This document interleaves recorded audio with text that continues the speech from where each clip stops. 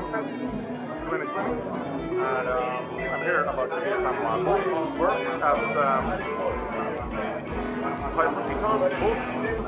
nice. And then we're gonna have a demo or clinic in here.